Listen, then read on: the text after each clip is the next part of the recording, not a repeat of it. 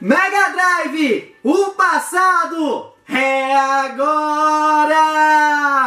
Bom, galerinha, para você que não me conhece ainda, meu nome é Diego Ramires, eu sou um colecionador. E para você que já me conhece, eu sou mais um idiota com uma câmera boa. E hoje a gente vai falar sobre o novo controle da Tectoy, o famoso controle de três botões.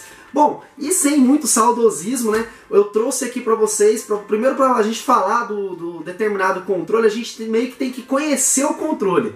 E eu tenho aqui todas as edições lançadas de controles de Mega Drive de três botões, né? Primeiro eu vou fazer a apresentaçãozinha e tal, é, já deu aquela repercussão sobre o novo controle da Tectoy, né? E aí, a caixa, a embalagem, ela ficou legal? Ela ficou bonita? Dá uma olhada aqui na tela.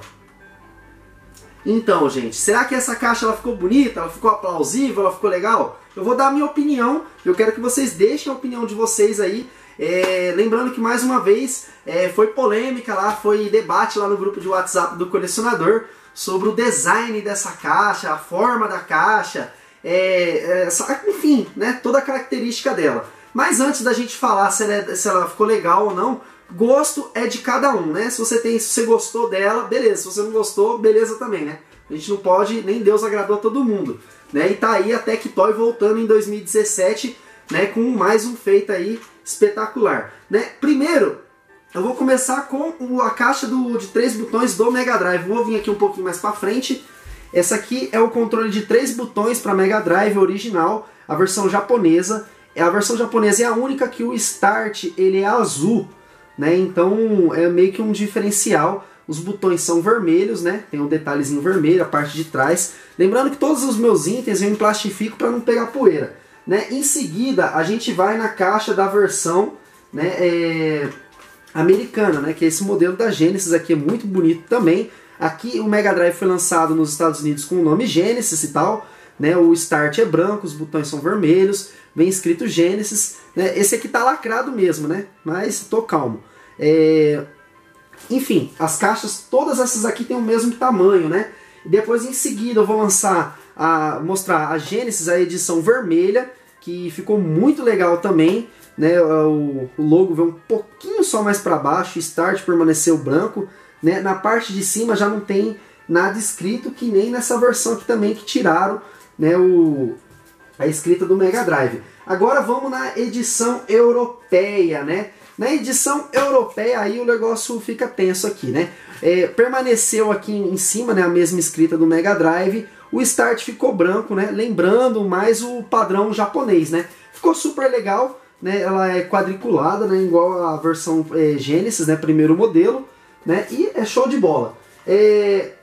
Agora, né? Antes de mostrar a edição da Tectoy, eu queria até fazer um um, uma divulgaçãozinha no vídeo, né? Lembrando que no próximo vídeo do Um Colecionador a gente vai estar tá abrindo o controle Imaginaire Pro Pad Control do Mega Drive. É o primeiro controle com telinha LCD e programável para Mega Drive. Mas sem mais delongas, eu ainda queria mostrar é, o controle Geco, que é a versão né, é, clone do Mega Drive japonês. Diga-se de passagem, é um clone, mas é muito bom ele tem três níveis de turbo, start mais para o lado, o ABC, o Tiger normal, né, da empresa JC.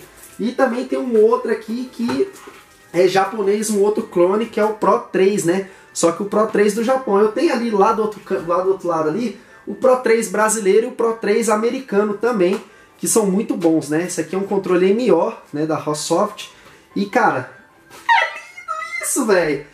E eu queria deixar uma sugestão antes de eu mostrar esse controle, para Tectoy aí, se for mandar uns brindezinhos, fazer o, o controle chaveirinho do Mega Drive, que é uma edição aqui que é limitada. E cara, é show de bola esse controlezinho aqui, mano. Não sei se está vendo legal da câmera, mas é um chaveirinho show de bola. A galera que é retro gamer pira nos negócios desse aqui, ó. E sem mais delongas, agora chegou a verdadeira hora, cara. Mano, agora o bicho pega, cara. Lembrando que esse aqui é, eu gravei um vídeo desse controle versus esse controle aqui, ó, o Genesis, né? Eu coloquei os dois de frente e tem um vídeo no canal, se você quiser assistir, tá na descrição, eu detalho todos os pontos é, positivos e negativos de um controle brasileiro e um controle americano, americano. E eu vou estar tá mostrando também no vídeo futuro todos esses cinco controles e o, o sexto controle, que é o novo da Tectoy, né, pra gente confrontar aí e ver qual que é o melhor, qual que é a qualidade mesmo, se mudou, se diferenciou. Vocês acham que, que desse controle para esse muda alguma coisa? É um controle de três botões, a caixa deles estão todos iguais, mas tem uma diferença na hora da jogada que você sente a pegada mesmo, se é diferente ou não. Então vamos apresentar aqui, esse aqui é o controle da Tectoy 1990, cara, é lindo isso. A Tectoy nessa época os caras investiu em fazer uma caixa diferente das outras, né? Diferente do padrão europeu, japonês, né? A Tectoy meio que falou, não, vamos fazer um negócio diferenciado aqui.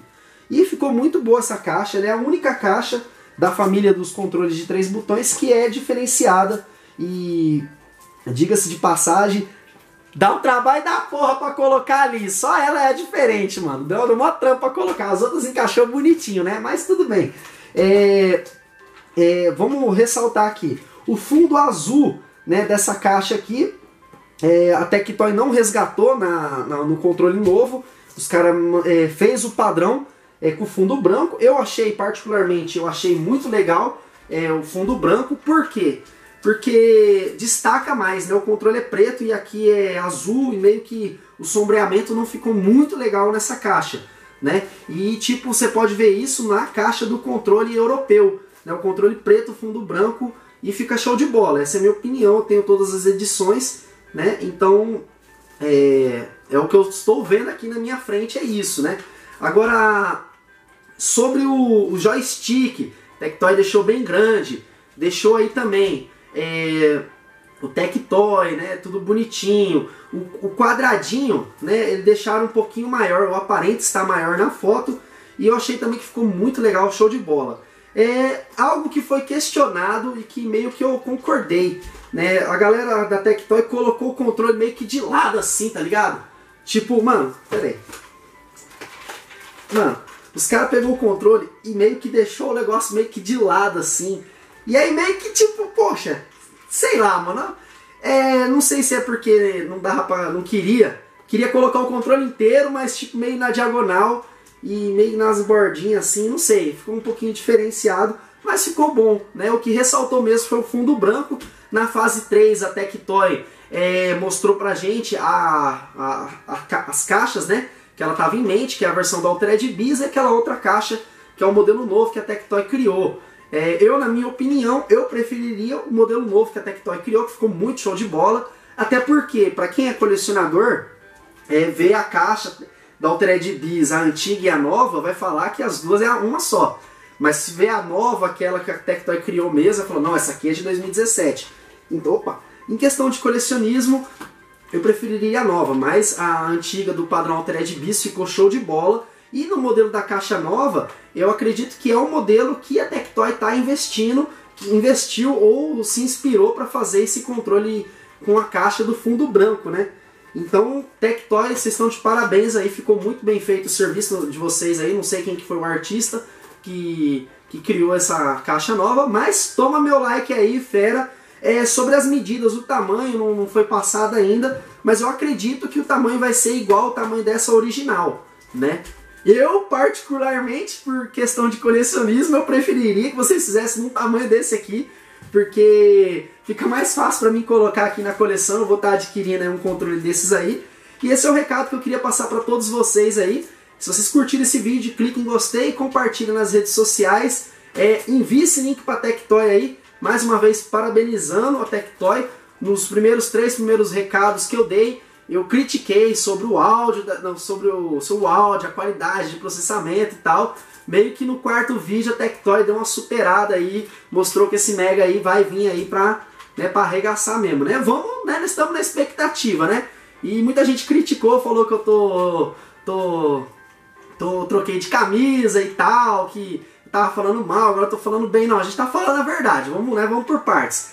Disse logo no primeiro vídeo, no primeiro vídeo, se o, o novo Mega Drive for bom, eu falo que é bom. Se ele for ruim, eu falo que é ruim. Então vamos acompanhando, né? Eu, eu tenho os itens, eu sei fazer a comparação, eu vou fazendo uma comparação de um ou outro, e eu vou dizer se ele é bom ou não. Sobre a questão dos controles, é, no meu canal vai ter um vídeo de cada controle desse, né? Já tem de alguns e de outros itens da minha coleção também.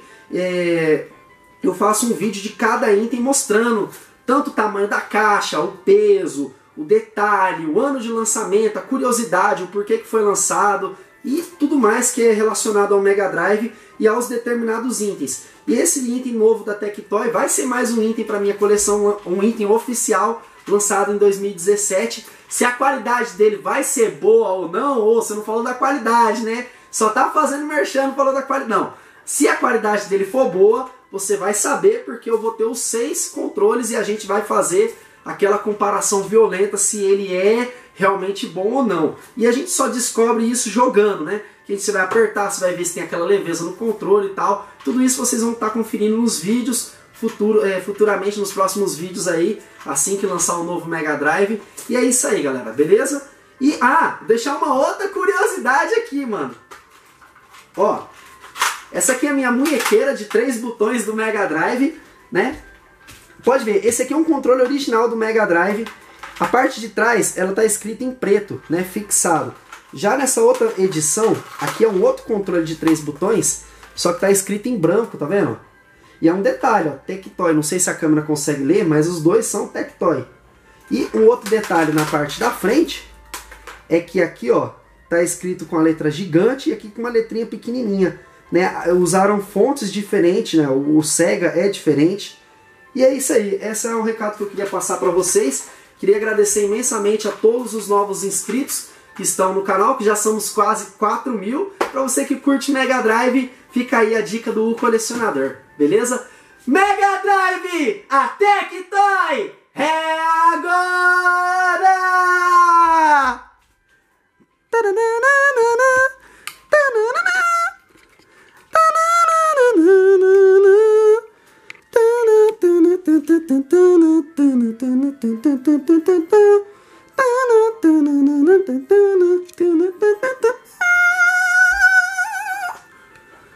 Mega Drive, o passado é agora.